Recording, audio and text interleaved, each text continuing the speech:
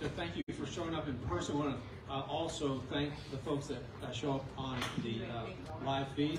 And we have many people that watch our services after the fact, after they go to their own church in some other town. They'll pull us up and watch our service. So God bless them. It's wonderful. We are having some technical difficulties with our internet this morning. So, for instance, our credit card machine is not working because we have no internet. We're streaming off our phone this morning. So pray that that will, the phone will fall off or something. and uh, but uh, we've got them coming to uh, repair our internet tomorrow, so we should be back on track. So I want to thank you. So if you would like, if you had intended to give using the credit card machine, please go and use our church app. Uh, it works without the internet. It's fine. I just uh, gave myself and uh, checked it, make sure it was working. Okay, so uh, this morning, um, I, I, I, just really have been excited about. I've been I've been in, inundating myself in the Book of Daniel for the last month and a half, and um, and I'm very excited about the opportunity to start this Wednesday proclaiming the Book of Daniel. So I hope you'll come 6:30, either online or in person. And so um, it might not surprise you that the Bible reading this morning, you guessed it, it's out of the Book of Daniel. so. So listen to this. Uh, the um, Daniel and his three friends had just called a prayer meeting in response to a very serious crisis, and this is what the Bible says. Then the secret was revealed to Daniel in a night vision. So Daniel blessed the God of heaven. Daniel said, Blessed be the name of God forever and ever. For wisdom and might are his, and he changes the times and the seasons. He removes kings and raises up kings.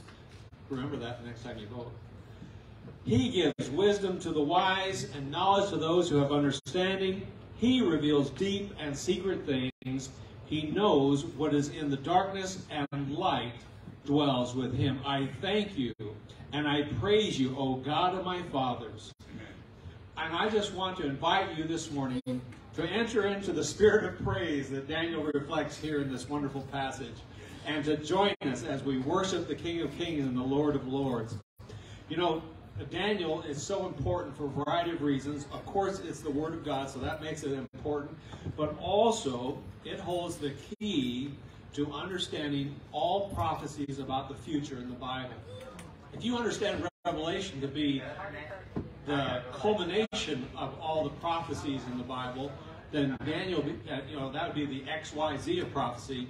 Then Daniel becomes the ABC of prophecy. It's where it starts to really come together. So I'm excited uh, this Wednesday to share that with you. And in preparation, I want to invite you to do something concerning the book of Daniel. Yes, um, if you're willing.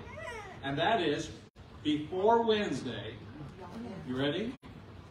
Read the book of Daniel three times, each time completely through in one setting. So from chapter 1 to chapter 12 in one sitting, and then do that three times before Wednesday. So I don't know if I have time. It's actually not a very long book, and it's a pretty quick. Um, and so, um, in, as part of that, I've, I've made up some cards called question and answers. And it says, yes, I have a question. And if you would like to take one of these with you, then as you're reading the book, uh, if you have any questions about some, what something means or uh, you know whatever it is about the book of Daniel, then write it down and bring it in with you Wednesday, and I will do my best to incorporate uh, that subject, that topic, those answers, that question into our study in the book of Daniel that's going to be going on for several weeks. So it'll be very exciting. I'll have these out um, in the foyer for you uh, at the end of the service. So very excited about that. We also this morning have um, some announcements. Um, today is our Light for the Lost uh, missions offering. We'll do that um, in a few minutes. But I wanted to remind you about it and also to encourage you to give. If you have intended to use the credit card machine, use our church app. There is an option to tell it that it's missions instead of ties, and you can use that option, and we'll know what it is. And then also, of course, keep in mind our services 6:30 Wednesday night that we talked about, and then each Sunday 9 a.m. for our children's ministry, our Sunday school hour, our Christian education, and for adults and children, and also uh, our 10 a.m. worship service that you're here now. So it's a wonderful thing. Our prayer list. Let me just uh, ask you to continue to pray for these. I, uh, I actually took a photo of the announcements and the prayer list so that I could have them with me. So from time to time I pull it up and I pray for the folks. But I just wanted to read their names to remind you to pray for them. Uh, Sister Donna Griggs' family, Sister Shannon Stewart's family, Barbara Brown, Ray and Nelda Dotson, Phil Carroll, Sandra Thomas and her family, Bobby Jenkins, Scott McLeod, Joy Turner, um, Marie Lavinghouse, Zach Leitner, uh, Mike Brown, Brandon Mack, Sister Elam, Jackie Lorenz, Doug Danley, uh, Sierra. By the way, just to give you an update on her, she was the young lady that was involved in a very serious accident uh, a couple, few months back. She's um, now she was in recovery and then in a nursing home for a while. She's back home. She's getting better, and uh, she has now found a job again, and she has started to drive. She says she won't go very far at a time, but she is starting to relearn how to use her body. So um, that's how serious it was. So we praise the Lord for that, and we're also uh, thanking the Lord for that, but also praying for her salvation. So um, Terry Yates, Glenn Yates, Teresa Carnley, Ashlyn Murphy, Maureen Romero, and also uh, uh, Brother Larry and Sister Dory Cordell are um, traveling. Let's pray for traveling mercies for them. And uh, Dory asked us to pray for her mom for medical issues. Would you pray for her today? I don't know her name, but Dory's mom. there you go. so that works. And then um, someone came into my office uh, Friday and said, I know you're a pastor, and I want you to pray for um, my sister who lives in California. She's a believer, that was shocking. There were believers in California. Can you imagine that? But it's wonderful to hear that testimony. She said, but seriously, she said, um, her name's Tiffany Warner, and she's 39 years old, has three children, and has just been diagnosed with breast cancer. So let's pray for God to heal her. She loves the Lord, and, and she asked, uh, her sister came in, uh, Teresa, and asked for us to pray for her. So Tiffany Warner, 39 years old needs a touch of healing from the Lord. Can we just go to the Lord and pray right now? What, what about you? Yes. Um, can you pray for Susanna? There, we need to get an MRI done for her just to make sure that nothing's wrong with her head. Okay. But like I feel like I'm actually worried about her because uh, there's a chance that she could have a tumor. So we're just hoping that she doesn't have one. What is your first name? I, you, Susanna. Susanna, thank you. You know, at my age, you just have to embarrass yourself and ask. That's all. all right. Um, I, I, don't know exactly how to put that prayer down, but we'll pray for you. hallelujah. Anyone else want to add a name to the prayer list? Anyone just needs, I need the Lord to work in my life, His will to be done. Pray for me. Almost everybody. Uh, God bless you, and may the Lord hear your prayer. Let's just go to the Lord and pray right now. Father, we just love you. We worship you. You are the great God who is. You, you can see into the darkness, but light dwells with you, Daniel said. And we praise your holy name for you, the God who is, the God who was, the God who always be, the one true and living God. We thank you. And, and you can do miracles. And you love us. And I pray that you would intervene in the lives of the people on our prayer list, that you'll touch them and help them in their need, whether it's traveling mercies or um, a, a medical procedure or need healing in the body or whatever they need, Lord, I pray that you would touch their need. And I raise my hand over this congregation and the folks that raise their hands uh, watching us on the internet, and I pray for the needs that we raise our hands for. And I ask you to intervene in those situations, Lord God. Do your will. Bless your people. Help us, Lord Jesus. I pray for those who are lost that they might be saved. I ask you to intervene in the crises that are going on around the world, whether it's war or uh, pestilence or famine or earthquake or whatever's happening. I ask you to intervene and help, Lord Jesus. And I especially pray for um, Tiffany Warner, that you would touch her and heal her today. And I pray for Susanna. Bless her and help her, Lord Jesus. I pray for a good report in that regard. And I thank you and I give you glory. I just ask that you would you would just make yourself known among us today. Can you lift your hand and say, Lord, I just want to tell you I love you today, and I praise your holy name, and I give you glory, for you are worthy of our worship. Lord, I thank you. I praise you. And I ask these things in the name of Jesus Christ. And all God's people said, Amen. Amen. Well, right now we would like to um, have the children come up. Uh, we are going to receive the Life for the Lost, our missions um, offering this month. It's Life for the Lost. Remember, Life for the Lost pays for um, gospel literature uh, in the language of the people used around the world. So our missionaries uh, greatly appreciate being able to have access to materials that they can use in their ministry to win the lost, no matter what language, no matter what culture, no matter what city or country they find themselves in. That's what Life for the Lost provides. It's such a valuable ministry. Our, it helps our missionaries do the ministry that God has called them to. So give us unto the Lord. And like I said, you can use our church app to give to this also. God bless you, kids. There you go, buddy. You my man. Would you like? Oh. Okay. All right, I think I'll pray then. All right, let's pray. Father, thank you for the opportunity to support our missionaries around the world and give them the tools and the literature that they need to do what you've called them to do. So bless them with their in their effort. Um, we pray that many lost people will be saved uh, because of the missionary ministries that are going on around the world, and help us to be a lighthouse in our own community for Jesus Christ ourselves. We praise you and thank you. Bless your people for their generosity. We ask it in Jesus' name. Amen. Go ahead, kids, and God bless you all.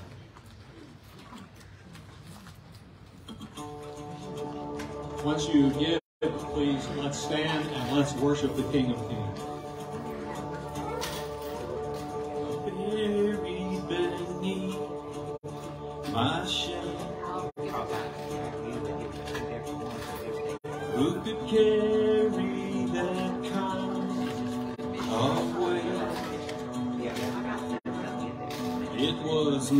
My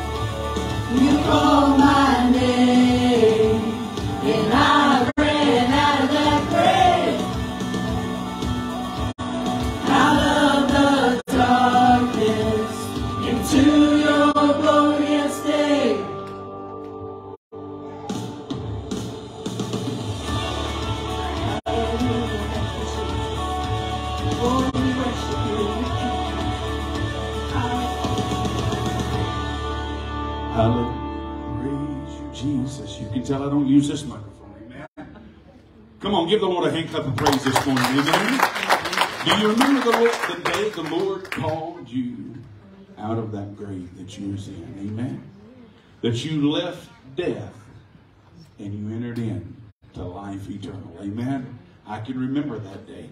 I actually rehearsed that day here just yesterday. Amen. Just pondering and thinking about the glorious graciousness of the Lord God Almighty. Amen. Aren't you glad for His grace this morning and His mercy? Praise the Lord. We're going to come to you this morning for our morning tithe and offering. Again, thank you for your giving in the missions offering this morning.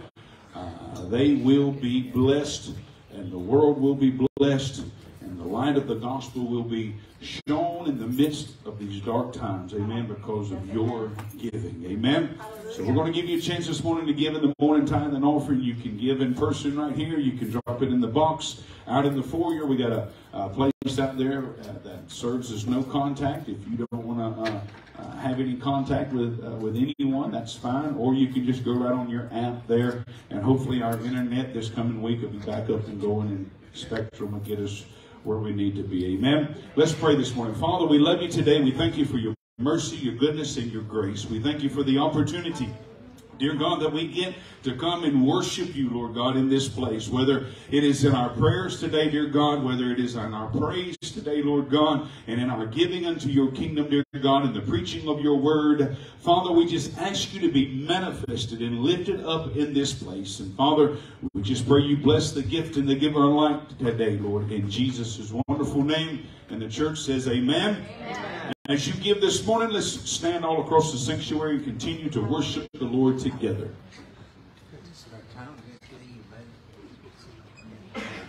Now I long to breathe the air of heaven where pain is gone and mercy fills the streets to look upon the one bled to save me and walk with him for all eternity.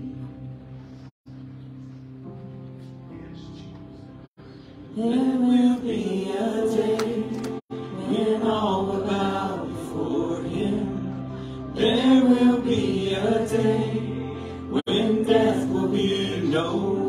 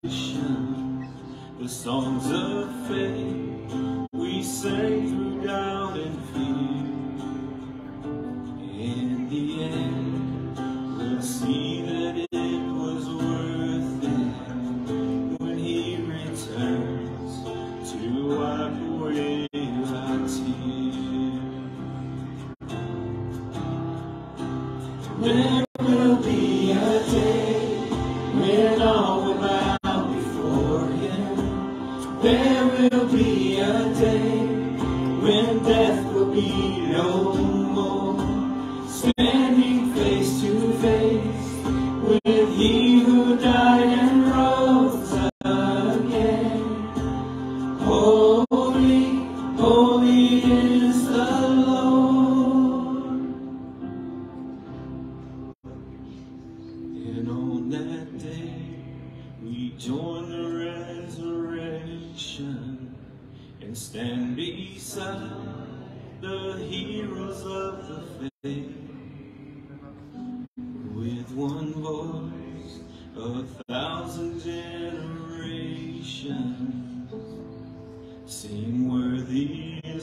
Was slain. And on that day we join the resurrection and stand beside the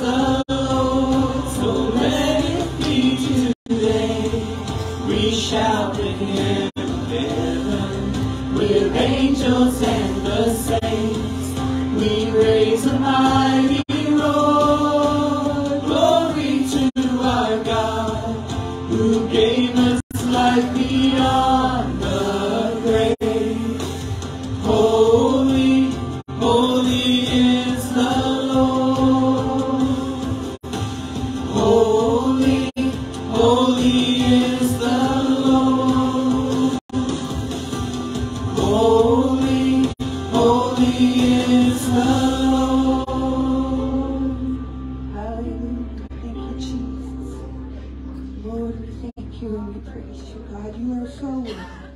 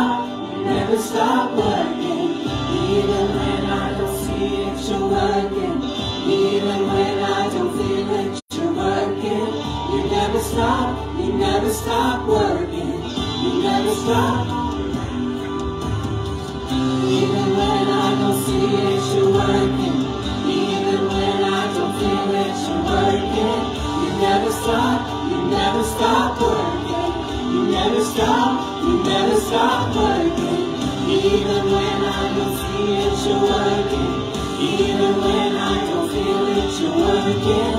You never stop, you never stop working. You never stop. Waymaker, miracle worker, promise keeper, light in the dark.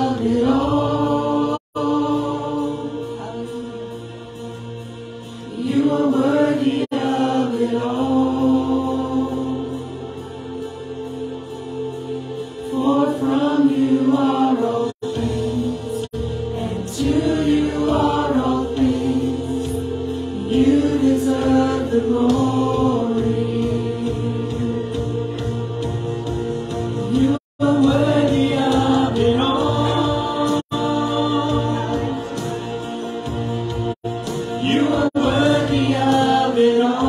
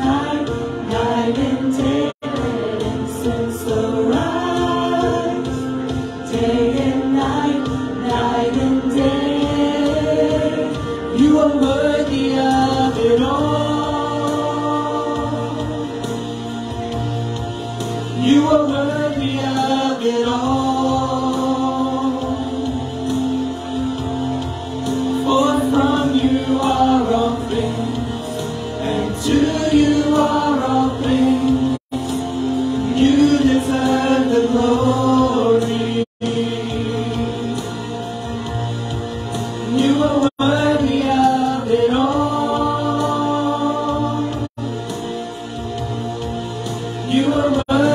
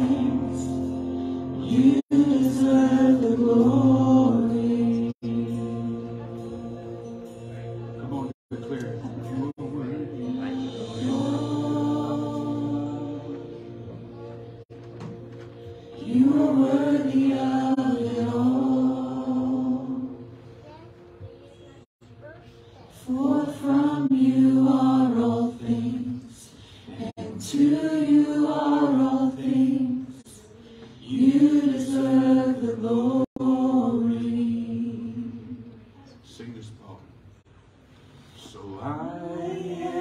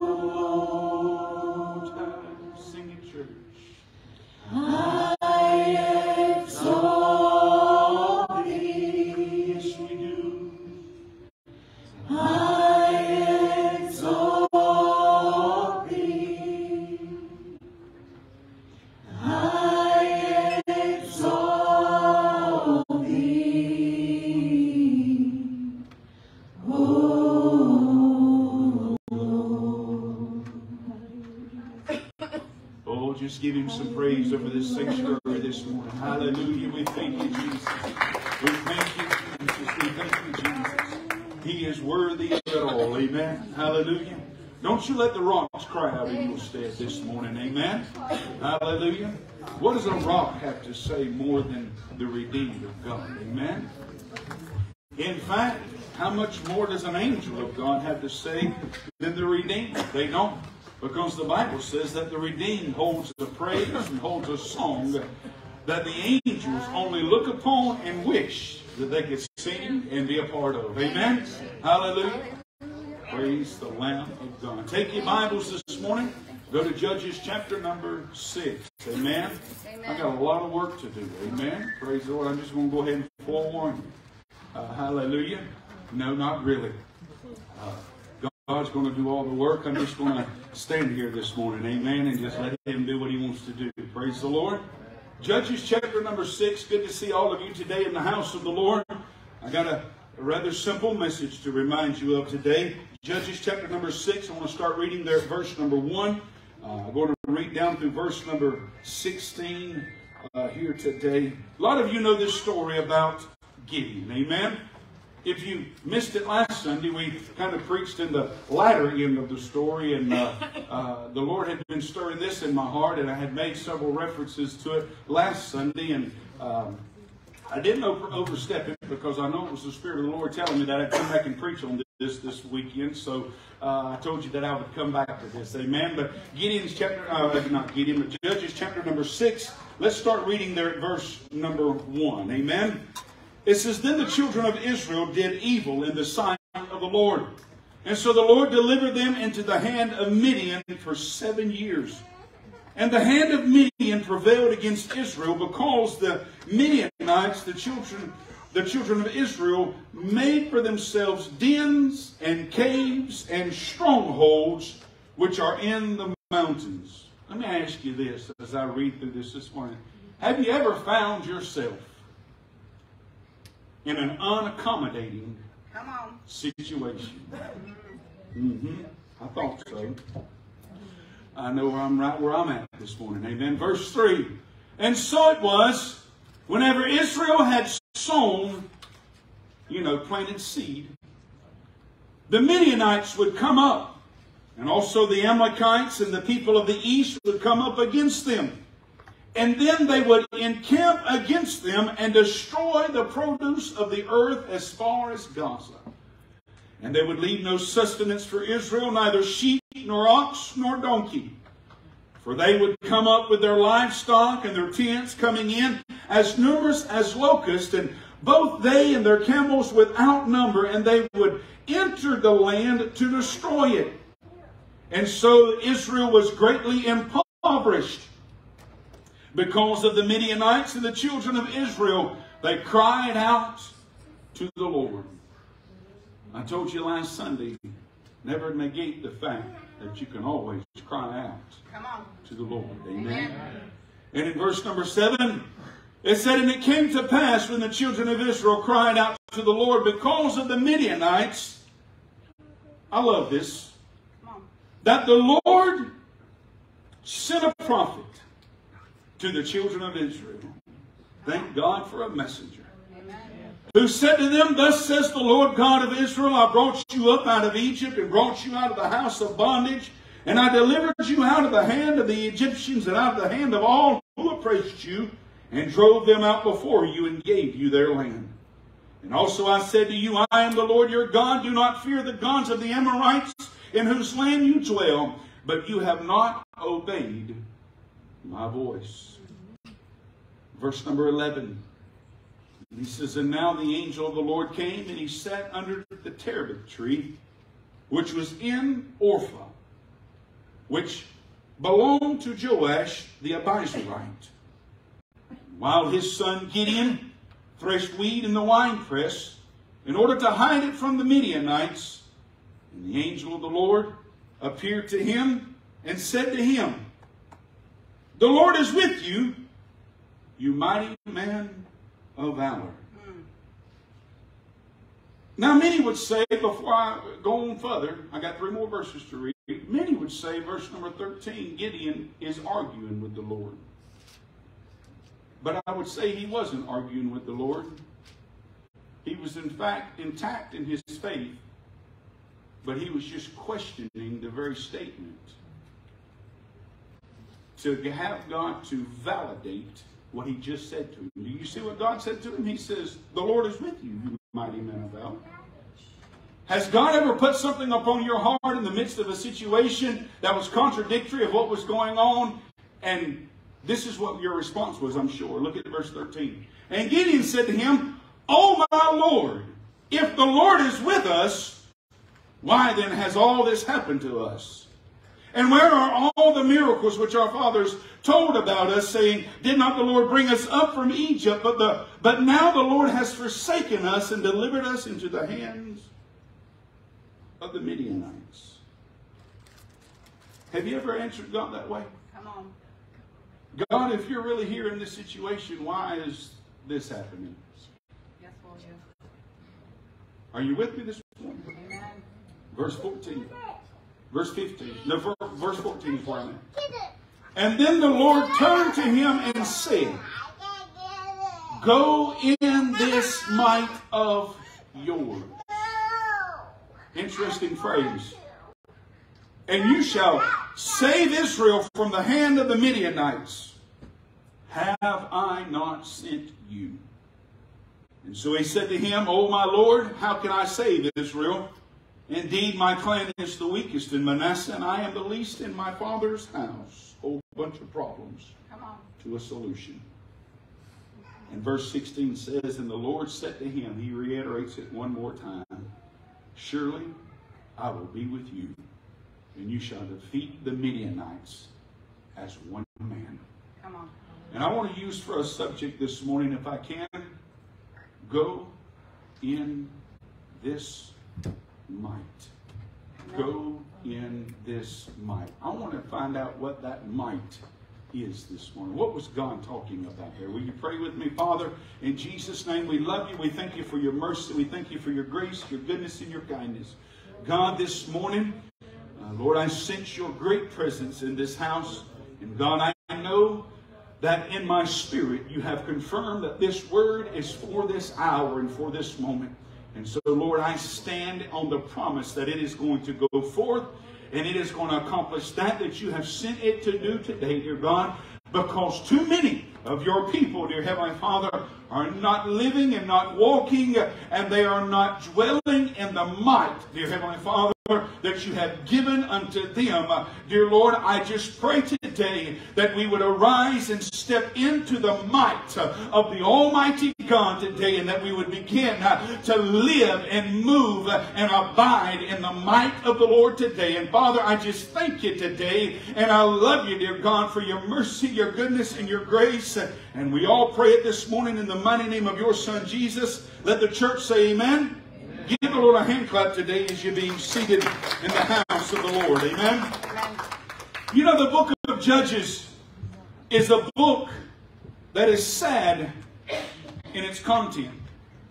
But not only is it sad in its content, but it's hope filled and it's glorious as well in its content. It's sad because this generation that the book of Judges is being written about is the generation that came up after Joshua and the elders that is now in the forefront. And it is said about this generation that they did not know the Lord, nor did they know the mighty works that had been manifested and that had been done at the hand of God Almighty. And so, therefore, because of this reason, they had turned their eyes towards idols and they had begun to follow after the flesh and they had begun to do what they felt was right in their own sight without a, a moral compass and a moral way uh, in regard because they was ignoring the one true God of Israel uh, and they was going after the gods of the nations that was around them. What a sad, sad uh, uh, uh, content that we would find uh, that after the Joshua and after the the, uh, the Caleb's and after the, the elders that had passed there, that somehow or another this generation had fell through the cracks and had not been taught well, or, or maybe they just willfully uh, ignored the fact that Jehovah God was the only God. Whatever Whatever the case may be and however they might have found themselves, uh, the fact is now uh, is the godly leadership uh, had been uh, laid to rest and now it was time uh, for this generation to pick up the mantle. Listen to me and I want you to, oh my God, I feel this push in my spirit. I can't live off of the coattail of the mantle of my daddy that was before me. And I can't live off of the mantle uh, and the coattail uh, of the stories of those that was before me. Uh. I can draw strength and I can see and not forget of how God moved in their lives. But the fact is today is I've got to settle it in my spirit, and I've got to make certain sure that the God of my daddy and the God before me It's the God for me today. Uh, that He is the same God yesterday, uh, today, and forever. And that I choose to follow Him all the days of my life. I can't hang it on the coattails of somebody else uh, said I didn't make it because they didn't arise. No, the arising inside of my life is the choice that I've got to make. That I got to get myself up and shake myself off and grab up the mantle of God and put it upon me that has been passed down from generation to generation and say, The God of my ancestors, show up and be faithful and true uh, as you was then, and I will walk in your ways and in your statutes. Amen. Amen. But this was not this generation's choice. Sad content. Think about it. They saw the Red Sea stand up on its end. Come on. Let me take a little bit of creative illustration. When they walked through on dry, dry land, could you imagine the animals that they got to see floating around in the waters beside them? Come, on, somebody. They was in somebody else's ecosystem. Come on. Walking through on dry land. Could you imagine all of the, the chariots of the, the enemy that come in behind them and, and they're sitting there trembling with fear and all of a sudden God just quits breathing over the water and it goes whoosh. And here come a chariot wheel, and here come the bridle of a horse, and here come the spears, and, and everything as it was washing up on the seashore. And all of a sudden, uh, there was a praise that broke out in the camp, uh, that they shouted and praised unto God, that the enemy that had pursued them had now been destroyed from behind them, not to pressure them anymore. These are the things that happened in that generation. And these are the things that they had chose to ignore. And these are the things and many other things. Sad content. A generation that was not following their God. Their God who had chose and showed himself to be true and faithful. But you know, with this sad content this morning, there's hopeful content. And there's glorious content. Because when you read here in the book of uh, in the book of Judges, you see in verse number 16 of chapter number 2, the Bible says, Nevertheless, the Lord raised up judges who delivered them out of the hand of those who plundered them. That was written on the heels of, a, of the verses that said that this generation had done evil in the sight of God.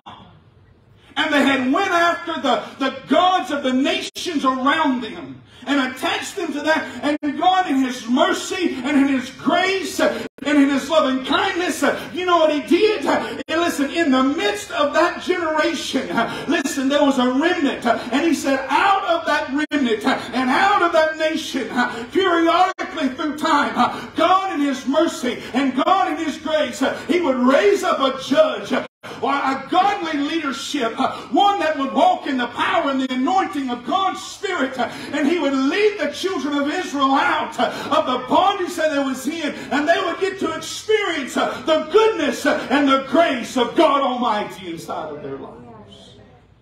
That sheds a whole lot of hope for my life and for your life today. Amen.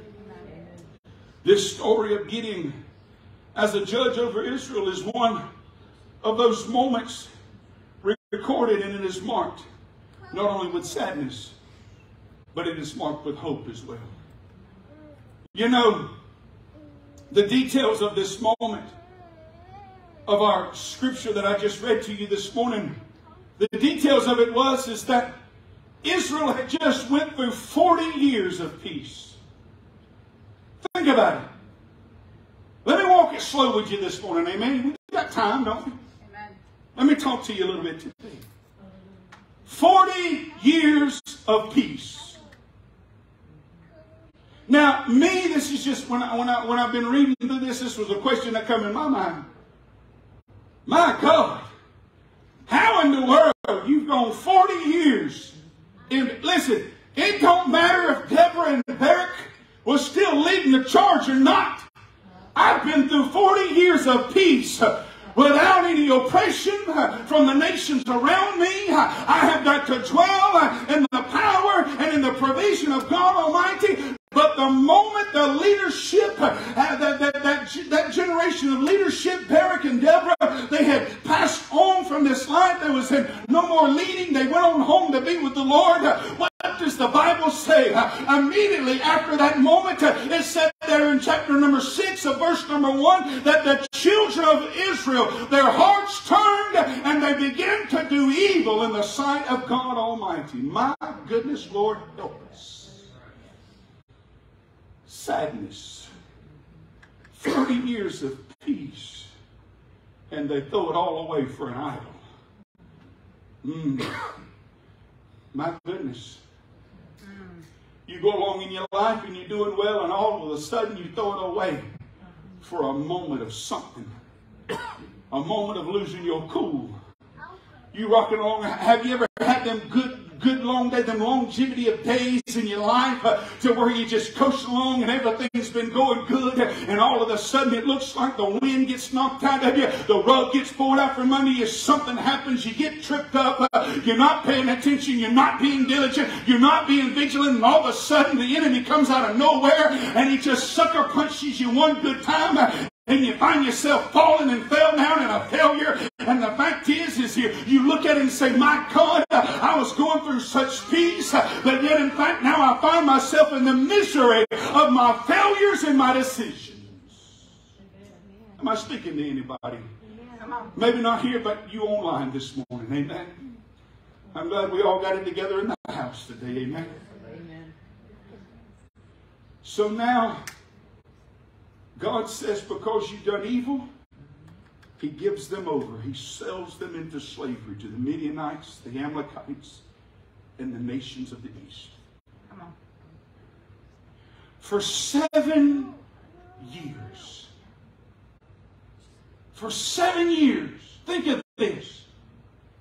The children of Israel would go out, they would plow, they would plant, they would tend to it, the Lord would rain upon it. And here comes the harvest. And about the time harvest time was ready, year number one, here come the Midianites, here come the Amalekites, and all the people of the east on their camels and all of their livestock. Uh, that was as many as the locusts and numbered as the sands of the sea. Uh, and they would mount themselves up against Israel uh, and they would come through. Listen to me. I read the scripture here again uh, last night and this morning. Listen to me. It didn't say that these that these uh, nations come in and harvested it. No, it said they come in to destroy it. My God. Let me tell you something.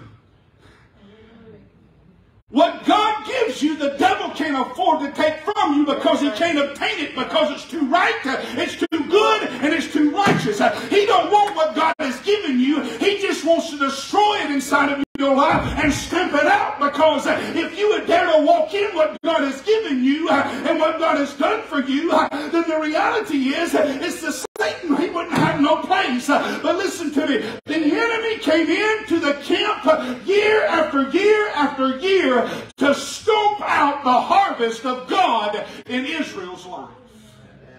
The harvest. That was the only time they showed up. That's why you better plow the ground in your life and have some good ground for the seed to fall in. Because if you hard-hearted and the seed falling by the wayside, Satan will come by and snatch that seed up.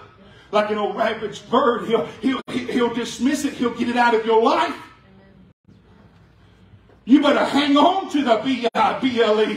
That's the book for me. I stand alone upon the Word of God because it is the life and the liberty of the kingdom of God. Don't you let the enemy stomp that out inside of your life. Amen? They would come in year, year number one, stomped it all out. Year number two, stomped it all out. Year number three, stomped it all out. somewhere in the process of this, uh, these people, this this nation, look, just just picture this with me. Uh, they was they was in this moment, uh, and every time that uh, when the enemy would come in, uh, it says here that because the Midianites uh, had got the upper hand, and because the Midianites was strong over the nation, the Bible says here that the children of Israel. Now listen to this. Uh, the, the apple of God's eye, the blessed of God Almighty, the blessed of Jehovah, the chosen of God Almighty. It said that they, that they, they left their chosen spot and their, in their, in their, in their place that God had placed them. And it said they went up into a mountain. And it said they went up and they began to dig caves into the side of a mountain. And they began to dig dens and they began to hide themselves because of what had happened and because of their choice and because of their situation. The fact is, is due to the fear of the enemy coming into the camp and stomping out the blessings of God, they left their post and they found themselves in unaccommodated situations to where they left the goodness of their home and they found themselves in a den. They left the goodness of their home and they found themselves in a cave. They left their goodness of their home and they found themselves in a stronghold. Have you ever uh, committed something or done something or, or fell to something inside of your life that you throw down the blessings of God and all it left you was was a den, a cave and a stronghold. Listen to me. God did not give you life to live in a den. He didn't give you life uh, to live in a cave. He didn't give you life uh, to be bound in a stronghold. Uh, you better praise the Lord God in this place. Hallelujah. I said he didn't leave you. He didn't save you. He hasn't come to you to, for you to dwell in a cave, in a den, or a stronghold. That's not my opinion. That's the word of God. Yes. Help us, Jesus, my God. They were in a den, in a cave, or a stronghold. What do you get in a den? Nothing. Cold, dreary rock, darkness. In Daniel's day, they kept the lions in the den. Come on.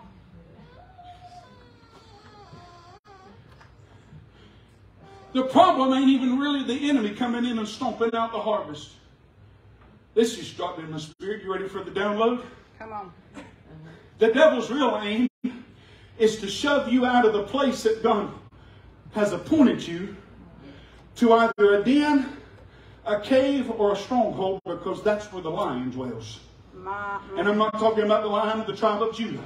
But I'm talking about the lion of Satan uh, who walks about like a roaring lion seeking whom he may devour. It ain't all about uh, the stomping out of the harvest field. It's to driving you out of the blessings of God Almighty so that you'll shove yourself back in a den in a cave so that in your seclusion and all by yourself and all by your lonesome where there isn't no light and there isn't no movement of God, you find yourself isolated and alone for the whispers of Satan and the cries of his lies and the deceitfulness that comes your way and you believe the narrative that it cannot be any better than what it is because you have found yourself in a den and a cave and a stronghold and you're okay to be there. Hmm. Jesus, help us today. Let me. Mm. Found themselves in a den, in a cave, in a stronghold. Why was they in a den in a state, cave in a stronghold? Because they had chose to do evil in the sight of God. That was their consequence. I heard a preacher say, and this is a rebuttal. This is a rebuttal. I heard a preacher. Let me tell you something. In the midst of our messes, God does not send his blessings. Because if he blessed you in your mess, then you would say, it's okay for me to be messy. And in my mess, God will bless me anyways. No, he let Israel be turned over to their mess so that they might see the blessing that they had left. So that the only thing they had to do was cry. Do was cry. And we're going to get to this, uh, we're going to get to this, uh, uh, the might that you walk in or, or go in this might in just a minute. Here's the point that I'm trying to make. Their only choice, because they had done evil in the sight of God, was to be turned over to the gods that they served and turned over to the choices that they made. And only the, the, the outcome of that was that they had dens and caves and strongholds in their lives. Well, you say, well, preacher, I'm not one of those who have turned my life over uh, to the gods of this world and to the gods of the nations around me. That's okay. You might be like Gideon this morning because, see, here's the thing as I read into Gideon, Gideon has caught a lot of flack in his life. But here's the thing. Uh, Gideon was not one who had turned himself over to the evil. Uh, it was his father uh, who had done it. His father had erected the, uh, the idol. It was his father's city. It was the father in which he was at. But the Bible says that Gideon, while everybody else was running and there was hiding in the dens and there was hiding in the caves, the Bible says that Gideon stayed faithful and true. He got out there and gathered up what he could gather up and he hid himself over there in the wine press and he continued to tread out the grain for his family.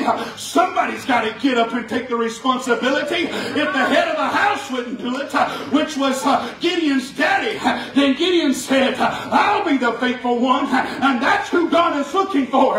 It's the one who is going to be faithful, even in the midst of the hail and the storms and the high waters. And guess what? The Bible said that God showed up in, in Gideon's solitude while he's being faithful.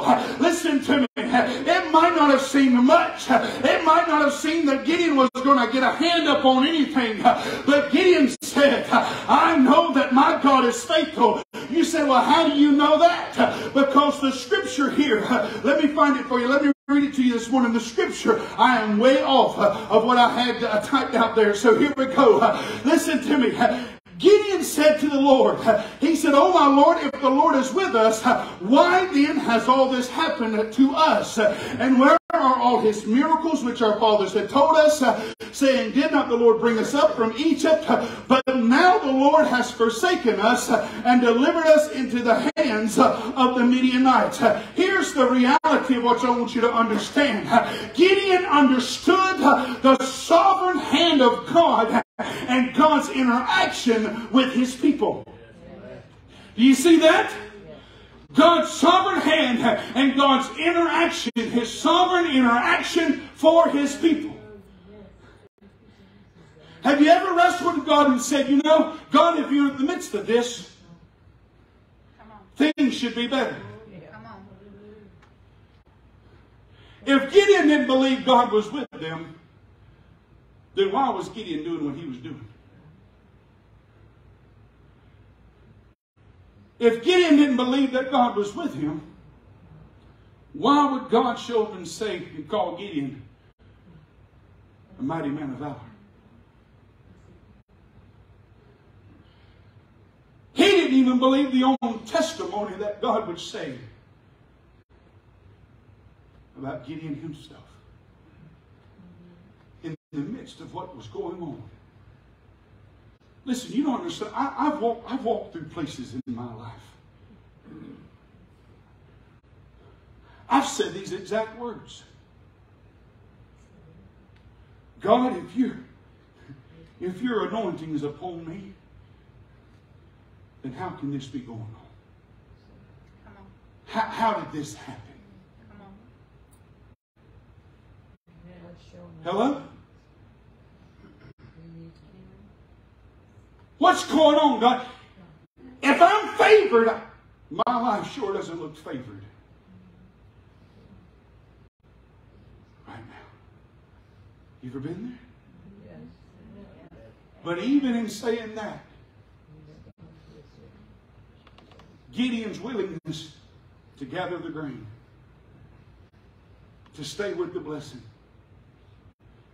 Gideon's willingness to say, Yes, Lord, I'll go tear down the altars of Baal. I'll cut down the idols. And he did just that. Gideon believed God. Now here's the thing. God said, Gideon, he said, the Lord is with you, thou mighty man of valor.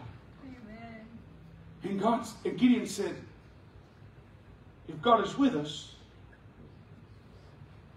this, this, this, and that. I've read that to you. But then he tells Gideon, listen to what he says in verse 14.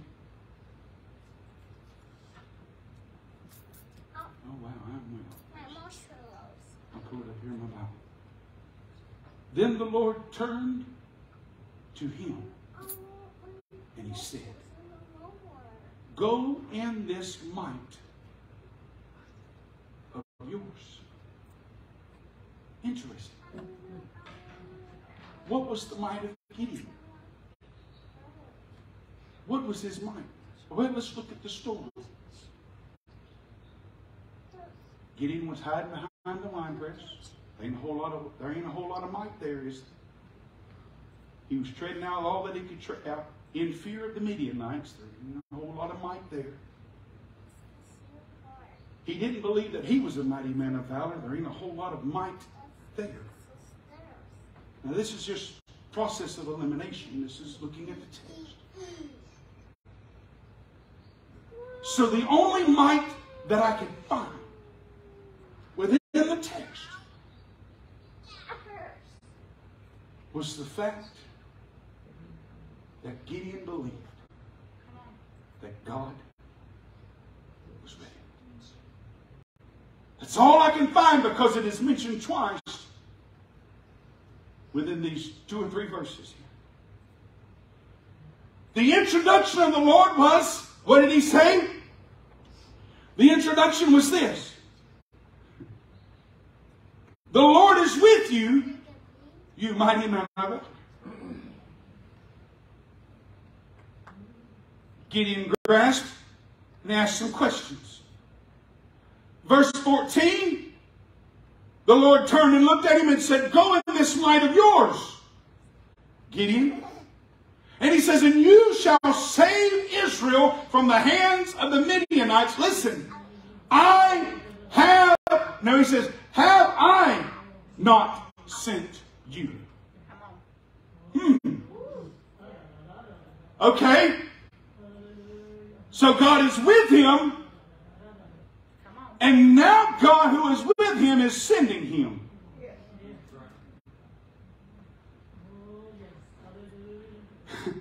And then he goes on, listen. And then he said, Oh my Lord, here's sounds like Moses here, you know what I?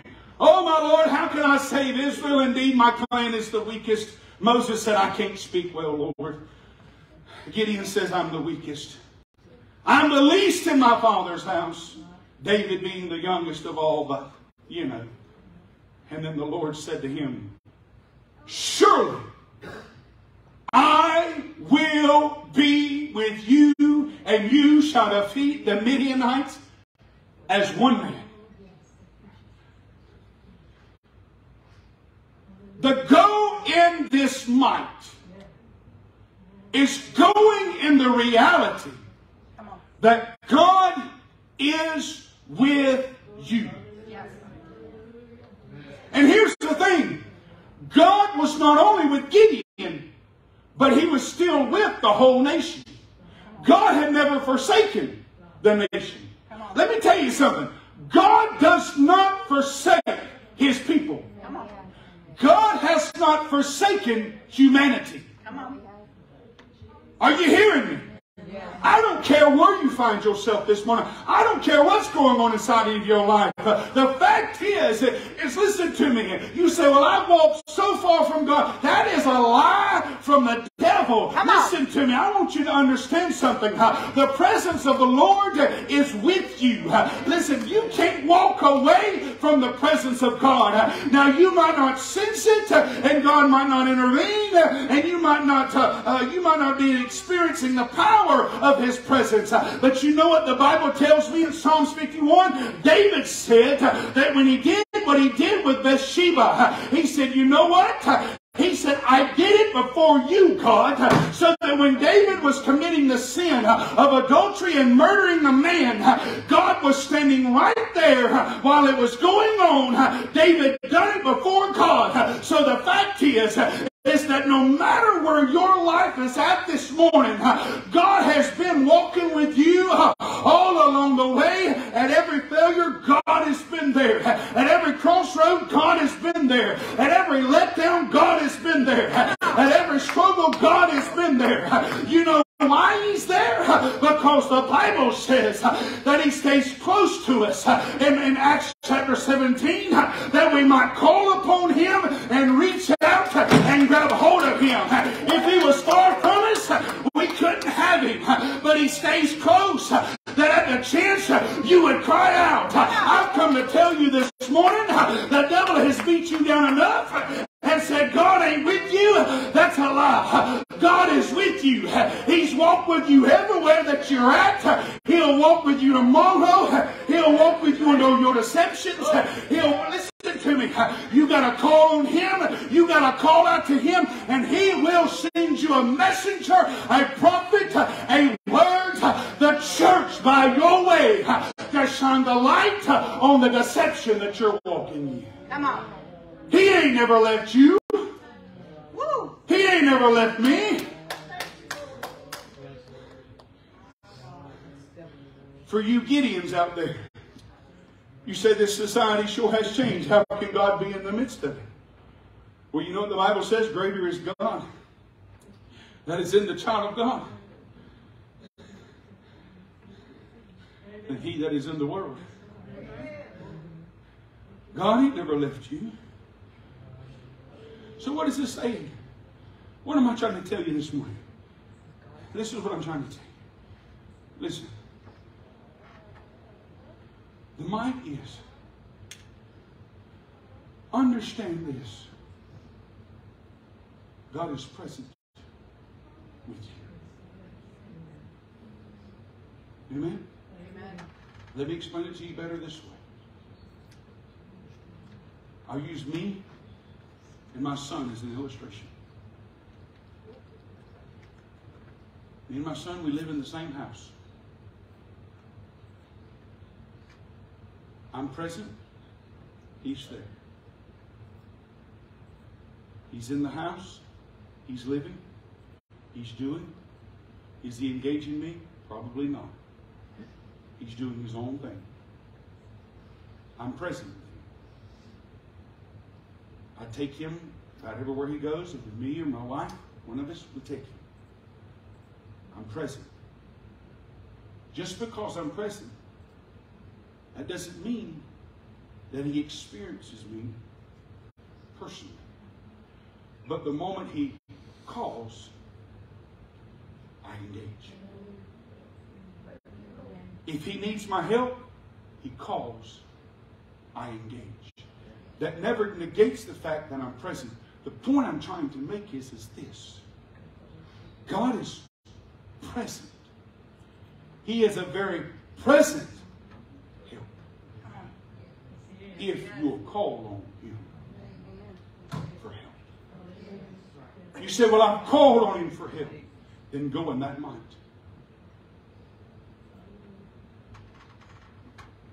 What does the Bible say? Draw nigh unto God. He will draw nigh unto you. Then resist. And he will flee. A lot of us is trying to resist before we call. And before we draw, draw nigh. And before God draws nigh. We try to resist first. Amen. Go in this might. The might is, is that God is with you. Amen. Saint of God, and every season of society, God is with us. Yes, amen. What was Jesus' name that was given? Emmanuel. God with us. You say, well, he's not on this earth no more. I beg to differ. The Bible says that it was expedient for him to go that he might send back the promise of the Father, another comforter, just like him, the Spirit of Christ, to dwell in you for forever. He's with you everywhere and in all places, through all things. To do what? To allow you to live. To bring you out of the dens, the caves, the strongholds. To flush the land of your life of the destruction of sin and Satan inside of your life. The Bible says this scripture, this scripture was sent out this morning in a, in a group text of ministers. And I want to read it to you out of Isaiah 43. Listen to what it says. But now thus says the Lord who created you, O Jacob, and he who formed you, O Israel, fear not, for I have redeemed you, and I have called you by your name. You're mine. When you pass through the waters, not if, when, I will be with you. And through the waters they shall not overflow you. And when you walk through the fire, you shall not be burned, nor shall flames scorch you. For I am the Lord your God, the Holy One of Israel, your Savior. And verse number 5 says this Fear not, for I am with you. This man Gideon, listen, here's my ending. This man Gideon got up singularly, right by himself, knowing that God was with him.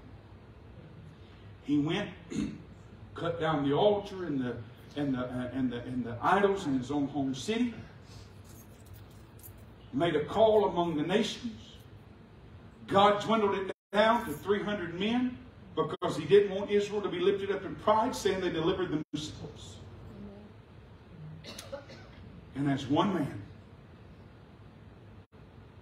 Gideon went in and stood around the edge of the enemy's camp and done what God told him to do. And the enemy consumed himself and fled the land.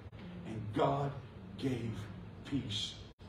Now, for all of the rest of the people that was not involved in Gideon, you know what they done? They followed Gideon. Let me tell you something. You know why God puts godly people in your life? For you to follow them. You know why God gave you, gifts the church to the world? So that people would follow the true church. And I say that very, very conservatively. Because there's so many churches out there that is not the true church. They're not teaching the truth and they're wrong.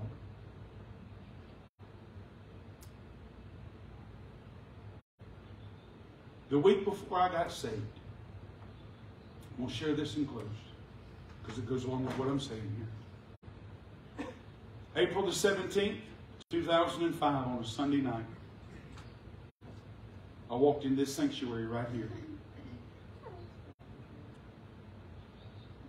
to obey a wish that my mother wanted me to do every year was for her birthday, come to church with her. I was a week late because her birthday's on the 10th. And I intentionally missed it on the 10th because I really didn't want to go. But aren't you glad for the conviction of God? Get up and go bless your mama. So I did that night. I, did, I made sure I did it on Sunday night too because there wouldn't been a lot of people and, you know. Come in and I sit down on that back row, right over there in that corner. Brother Adam preached that night. At the end of that service, I confessed that I had a major addiction inside of my life. And I knew that if I didn't get delivered from that addiction, that addiction, I would die. In fact, I was I was on the law's list. I was being watched, and it wouldn't have been long before I would have done time for what I was doing. I come clean that night. And from that night on, the first thing I did, I didn't, I didn't ask God to save me that night. But I did say, you know, Lord, I want to be clean of this. I don't want this in my life no more. So two things happened. I said, God, I give it up. I said, if you'll let me live, don't let me die. I said, I'll give it up. And I felt like I was going to die at times, but God brought me along. But the second thing I done was, is that week I surrounded myself. I changed my atmosphere. And I quit hanging out and going to the places that I used to go and the people that I used to talk to. And I surrounded myself with godly people. And I would put on preaching and godly music and change the atmosphere Come on. in my life. Thank you. And April the 24th, 2005, I walked back in this sanctuary that Sunday morning.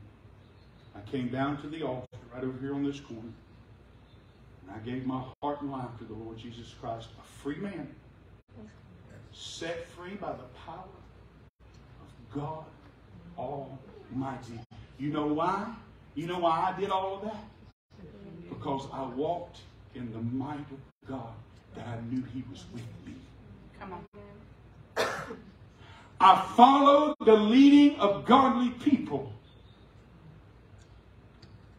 out of the place of where I was at.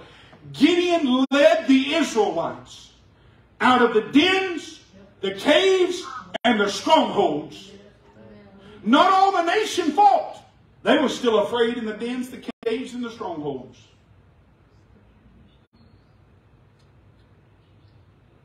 But somebody walked in the might of God. And the others followed in the might of God because it was through the leadership, God's presence is made real to people. So listen to me. This mess about I don't need church, you'll die without it. Come on. This mess about I can hang around whoever I want to, and I'm yeah, go right ahead. Hang where you want to hang. You'll find yourself hanging your hat there and taking your boots off there and hanging out and staying. Residence. Amen.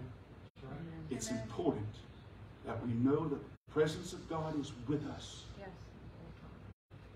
Go in that might, Yes. no matter what we face. And God will bring us out and see us through. Amen. The Bible says, Come unto me, all you that are labored and heavy laden. Stand with me this morning. And he says, And I will give you rest. Take my yoke upon you and learn from me, for I am gentle and lowly in heart, and you will find rest for your souls. For my yoke is easy and my burden is light. Amen. Jesus is saying to every one of us in this sanctuary and everyone that is watching, He's saying right now, Come to me.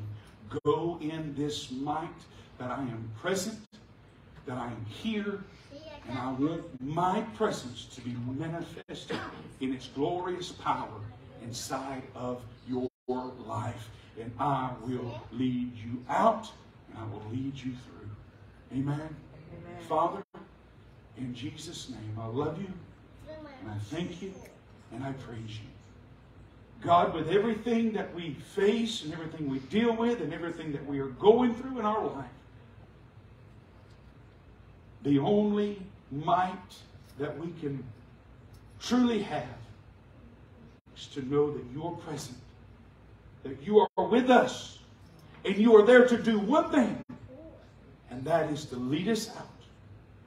That is to deliver us.